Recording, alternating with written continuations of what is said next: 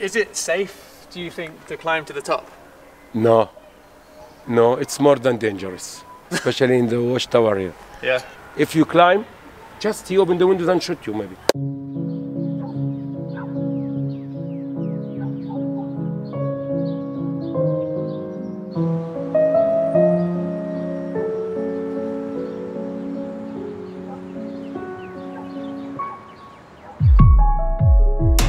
Here is a question. As an influencer, what should you do when you come across injustice? And you will, especially if you travel. Spending time in West Bank, Palestine made this question feel important, and this film is an attempt to answer it.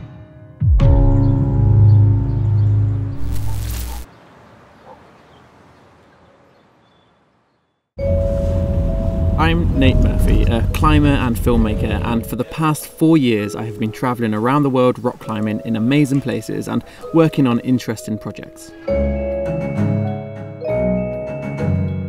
We came to Israel for some sightseeing and climbing. On a whim, we booked a night at Banksy's Hotel in the West Bank. So we're just trying to get to the thing, to the hotel, but this is um, closed door. So close, but so far. Huh? We're trying to go over there. Huh? Yeah, you can from here. Is that it? Yeah. Yeah. Finally, we made it to the hotel, so we went out to explore Bethlehem. This is the Church of the Nativity, which is a historic site where Jesus was apparently born. Every single like little sect has their place. They got a little place like an embassy, a religious embassy in Jerusalem. This one was uh, inaugurated by Kaiser Wilhelm II, who was a German emperor. Um, definitely a holy guy, but he did start World War One. We've noticed a lot of these like pictures, like posters with like a guy he's got his machine gun. We saw the same sort of posters, and we didn't know they're memorial things. To be honest, other than some basic reading and hearing about the illegal settlements over the years, I knew very little about the Israeli occupation or this wall. What we've realised is there's Israelis building all these walls. They've actually made like a really good crack climbing skill. You've got like splitters right here. It's just finger locks. So if they ever give up with the, you know, general segregation and wall building, they should leave them and have them as a crack school. This scene started off as some climber chat, which is pretty ordinary for the content of my channel. At this point, we did not know where our time here would lead.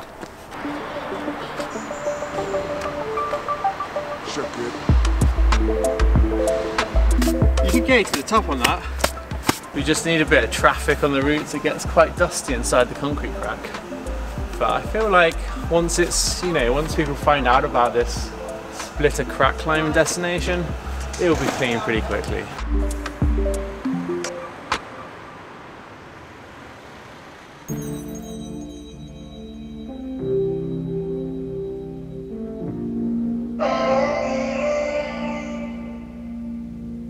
So this is Banksy's uh, hotel called Walled Off Hotel. Um, we stayed in the bunk beds for the night, and today we're going to go on a tour um, of the refugee camp and the area. So it should be interesting to see another perspective on Israel.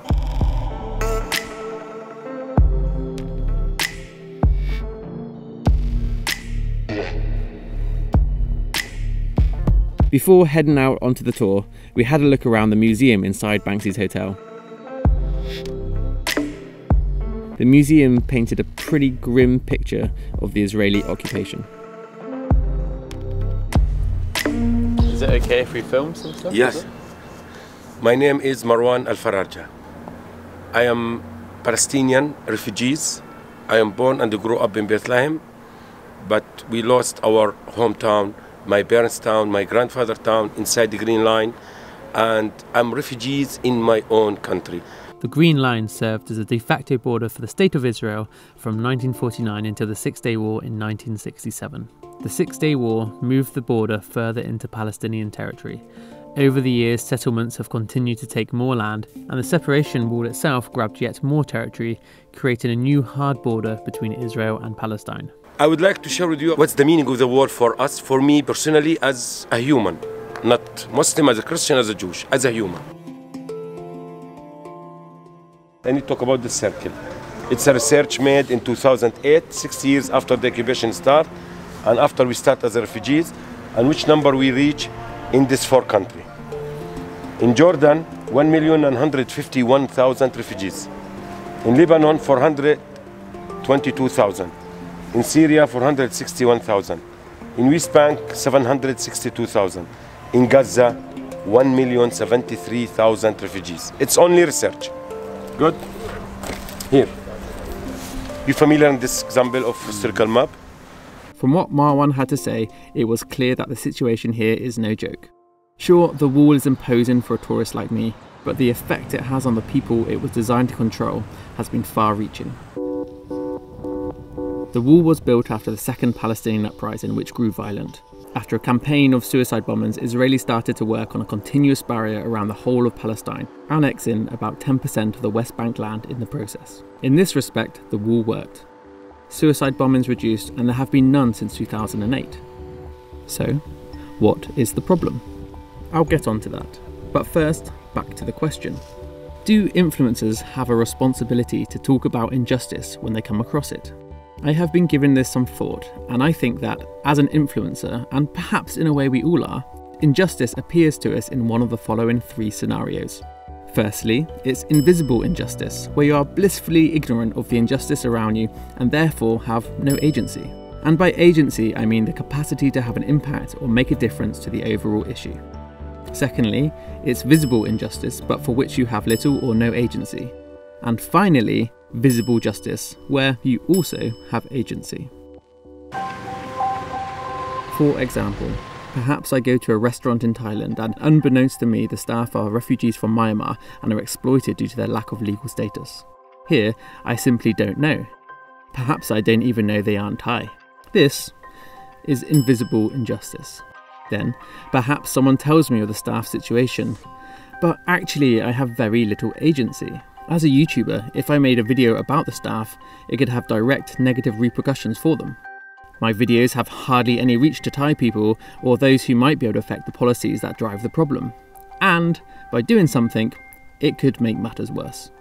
Now, perhaps later, as I travel through Thailand, I find out that elephants used for elephant rides go through incredible cruelty in order to make them submissive, and that support in this industry is unethical. Which it is. Here, the injustice is visible and I have agency. Through my channel, I can educate other tourists and help them reduce the demand for elephant rides and perhaps support ethical elephant tourism. In cases where you have little or no agency, doing work to profile it, aside from being largely pointless based on the impact you are going to have, it is probably best not to waste your audience attention on issues they don't impact. By being relevant and therefore selective, the issues you do raise become more important to your viewers.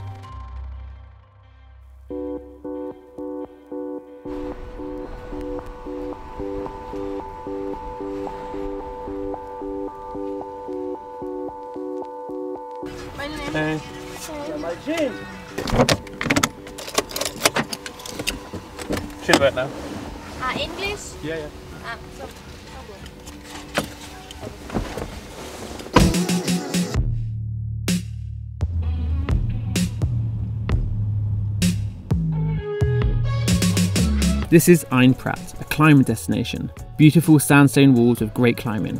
But to get here, you have to travel through a settlement, which means that Palestinian climbers have to take a long walk round the settlers' fence despite it being well inside the West Bank. Is it really ethical for us to journey here, climb on occupied land after travelling through an illegal settlement, and say nothing of the obvious discrimination and injustice? Would that make us complicit with the theft of the land and the restriction of access for Palestinians? So, back to the wall. What is the problem with it? Over a decade since the last suicide bombing, the wall system, powered with a military budget three times the West Bank's GDP, enables near total control. Resources are also controlled. Water is taken from stolen land and sold back to Palestinians. This water can be cut off. As Marwan demonstrates, this is why Palestinians have extra storage tanks on their roofs. My friend, you see, it's either refugee camp, refugees community, over the roofs, how many black tanks for water. They put these tanks over the roofs just because the water sometimes cut here in this camp 20, 25 days, 30 days. because everything under the occupation control. If you look on another side, in this mountain there, this building, it's a settlement, illegal settlement inside 6-7 border called Gilo settlement. No any tanks. You don't have to put any tanks over the roofs. 24 hours they have direct water from the company.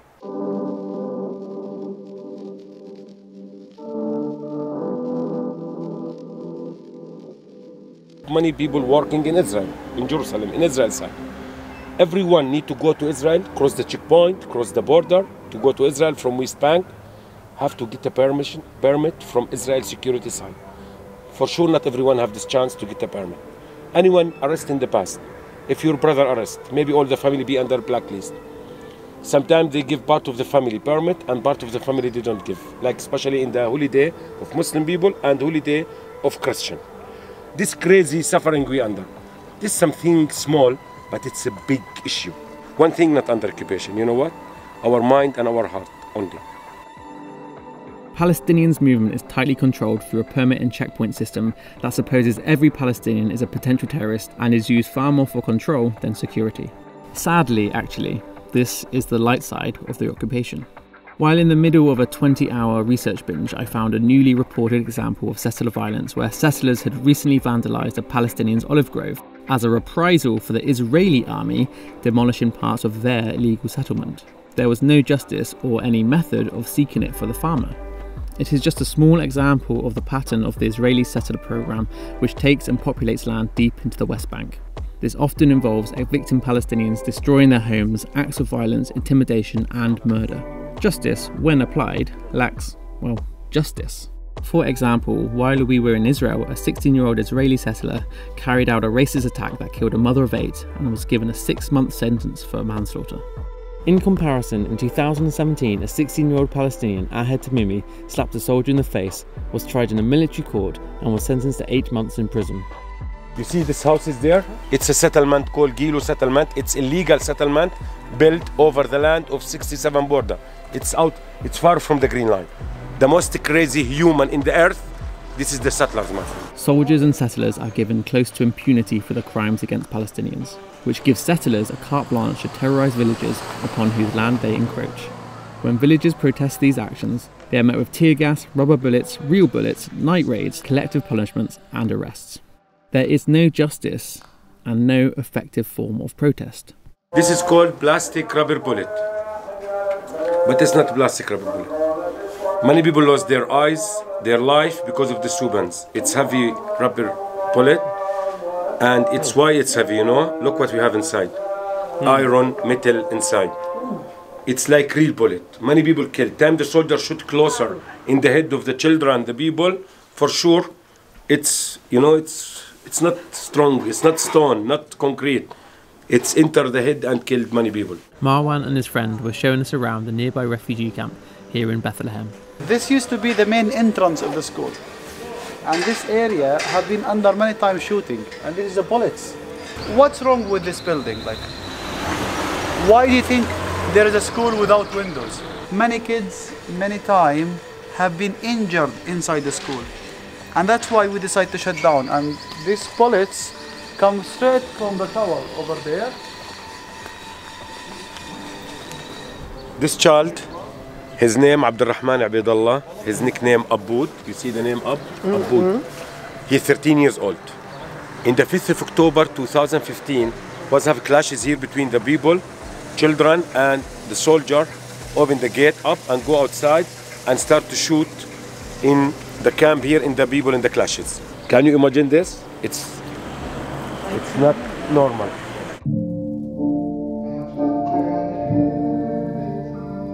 So when you come across injustice that is clearly visible and you have some agency, what do you do? Firstly, I would argue that saying nothing involves a certain degree of complicity. And secondly, the issues are always complex. A loose comment with poor understanding may do more harm than good, if anything, to your reputation. If you do raise an issue, avoiding making simplistic judgments or statements is not easy. You must be informed as much as possible, and that could be days or weeks of work. This is work you will not be paid for, work that will lead some people to dislike you, especially in highly polarised issues with strong ideological or political narratives. It can put you at risk of abuse, state based travel restrictions, or in extreme cases, violence. And it is work that, being outside of your usual dialogue, might just turn your audience off. So, why bother? Well, because complicity is not a moral option. In short, I think it is about potential impact and picking your issues. As a climber, to climb the wall is attractive regardless of politics.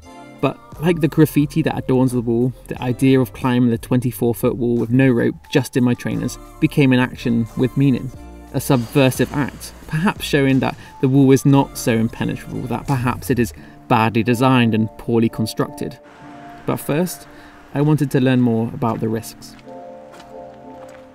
We realised the other day that these walls are really quite easy to climb. Like Yeah. You can climb these walls. Uh, but is it safe, do you think, to climb to the top? No, it's more than dangerous, because in the tower have soldiers. If they maybe they think by wrong you are Palestinian, if he shoot you, he have reason to shoot you. Without reason, sometimes shoot people. Imagine time you climb and you give him reason to shoot you. So if we were going to try and send a route and top out on this wall, we're going to have to do it where there's no tower visibility on a, on a corner with no tower around it, and then maybe you've got a good chance of not, not getting shot. You're right. Adds a certain complexity and risk to climbing you don't normally have. all the soldiers we have in West Bank, they are kids, children. They are like a machine under control. Because of this, we have a lot of victim and many accident, crazy accident happened. Yani, time the soldier shoot anyone Palestinian, if he said his answer be, I'm not feel security, I think he have a knife, he have bomb, he have gun. It's enough to close the file and no more conversation about this accident. Here, every day Israel kill people.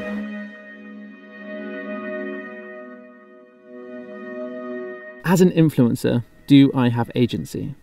For this issue, the US taxpayer matters, and 40% of my audience come from the US. The US sends $3.8 billion of military aid to Israel every year. Jewish American citizens are wooed by Israel under the birthright scheme, where they, potentially with no Middle Eastern roots, are given more right to reside than a Palestinian whose family have lived there for generations. Let's face it, my impact is always likely to be pretty small. But you don't know what comes out of the discussions you create. You could create conversations with people that change people's minds and narratives. The world is run on ideas, and ideologies are driven by narratives. After a week of intense research, my conclusion there is no way to avoid saying it. The Palestinian people are being systematically oppressed using brutal methods. This is not to say that Palestinians have not thrown away chances for peace, that their politicians have not been corrupt, or that violence has ever been a successful strategy for them. It is not to say that defence against West Bank Palestinians was not warranted under previous administrations that pursued extreme ideological agendas and refused offers of peace that could have resulted in a two state solution. But what this is to say is that what is happening right now under the current Israeli government against a people who are largely powerless is wrong. To oppress a people for long periods of time and enable settler terrorism to run unabated is awful behaviour. Not only do their actions continue to destroy the possibility of a two state solution, but they add fuel to the ugly rise of anti Semitism throughout the world today. Heavy handed oppression does not bode well for a long term peaceful solution. Not only that, but by making Israel look as bad as some of their despotic neighbours, it undermines the moral appeal of Israel itself. Despite Marwan's warnings, the more I knew, the more I wanted to reduce this oppressive military wall to a beginner climb. And for sure, there were some easy cracks on the wall. I also think that the desire to downgrade this wall comes from a visceral part of myself. I hate to be contained, I distrust authoritarianism, and I value freedom over pretty much everything else. I could feel the lack of freedom Palestinians have, and it hits a nerve. That afternoon, we went for a walk to see if we could find some climbable cracks that were out of view of watchtowers.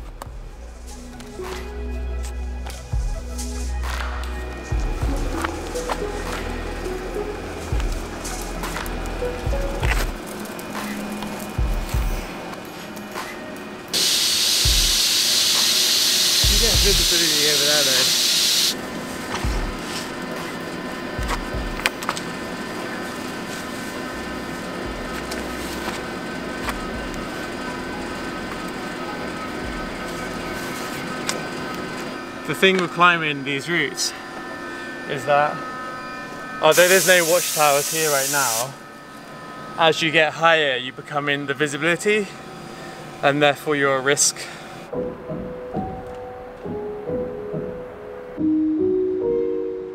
That evening, I read a story about an olive farmer whose trees had been attacked. Later, the villagers had protested. As the Israeli army tear gassed the protesters, they stood by as illegal settlers opened fire, killing a father of four, shot in the back as he tried to help a wounded villager. No settlers were questioned for this murder. The Palestinians were unarmed. This is gross.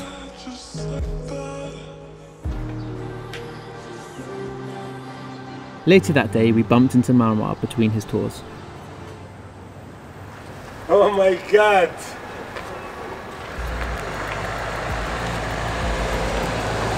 I don't know.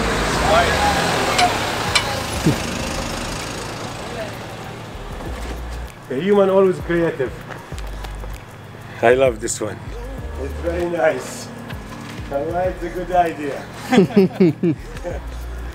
I take a video, I will keep it this always in my memory. Make me feel really, oh my God. I can show you how, yeah? Can- I can teach you. See, these ones are actually quite um, easy to climb. See, like here, you can put your hand in the back Okay, and your foot will twist. yeah. Wow. Amazing. Like, I can show you how to do this as well. Yeah, okay. I will do. Maybe one day I will teach my people, Tell me, destroy the wall? Or maybe kick this wall away. We have now... You have a climbing wall, yeah? Yeah, we have some... I learned from you something special. We'll never forget. I put my hand inside here. Yeah, so at the back of it there's like an edge. Yeah, like it this. It makes it very easy. And then the foot goes sideways and then twist the beam. Yeah, yeah, yeah. Nice. I cannot do like you, That's but good. it's good start, Yeah, yeah? yeah, yeah. That's really good. Good. it's something make you to feel it's nothing impossible. Can we go? In hmm. some place, no soldier, no security. I need to cross to go to Israel. can I go? And go like how I go up here, can I go down from another side? Hmm. And can they cross without Yeah, the yeah. humiliation system, without permission, without the crazy soldiers? This is more of the tear gas kind of Yeah, stuff. it's a tear gas. You know, have some tear gas made in U.S. Jamestown, Pennsylvania. They It's- came here. yeah. They support by for sure for free by American government. It's different kind, you know. size. This different and this different and what you carry first different. And this one also different. This kind of uh, tear gas bomb, it's be over the jeep have three groups of pipes. Yeah. Every group have hundred like this Oh wow. time they start to shoot automatically the 300 take for them few seconds to shoot cover all the area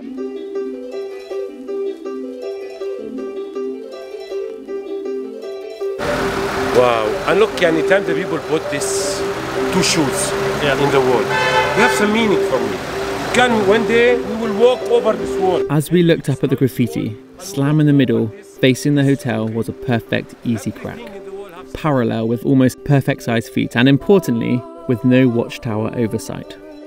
If we were going to create and share a route that others might be tempted to do, this was a perfect place to do it. okay take your time my friend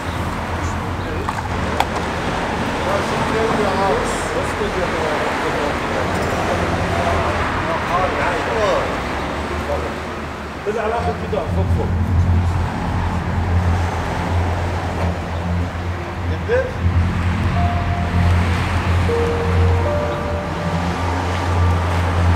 Watch out, don't go higher than this. Okay, Yeah. go down. Yalla, go down. I think enough, my friend. That's it. Enough. Touch the end of the wall.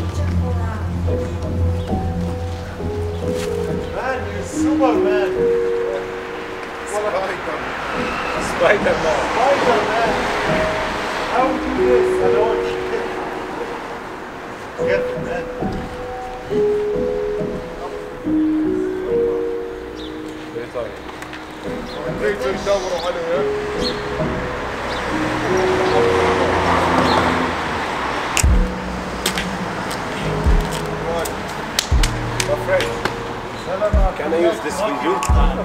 It's a uh, special experience for me, really. it gives something special to us to feel more hope. Nothing impossible, I told you, in your life. That's cool. If you believe in something, nothing stops you to do. It's a pleasure to meet you. Thank you for this, some, this strange thing you make me to feel it's nothing impossible in front of the human. Time you climb this wall in this easy way, really, really, I feel nothing impossible in this life. One day, if you not climb this wall, we destroy this wall for sure. If we have especially great people like you in the in the world. Extreme Zionist theology that seeks a one state Israel as its ideological goal is increasingly present in the current Israeli government. Its settlement policy directly and continuously works to destroy the possibility of a two state solution. Israel is using its strength to pursue its own extreme ideological goals, not just simply create peace, and these days, the wall has little to do with security. It is about maintaining a position of power to fulfill its colonialist aims, which can only be met while maintaining the status quo for as long as possible. It is sad that a nation built by a people who have for centuries faced horrific crimes at the hands of extreme ideologies are allowing their own extreme ideologies to guide their treatment of another people.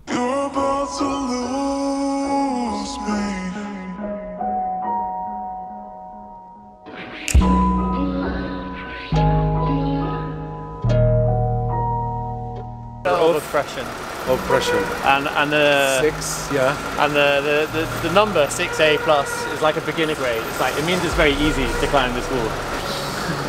and the R five ten C is like an American grade system, and the R suggests it's like a little bit dangerous. Oh my god. But yeah, this, this is very easy climb.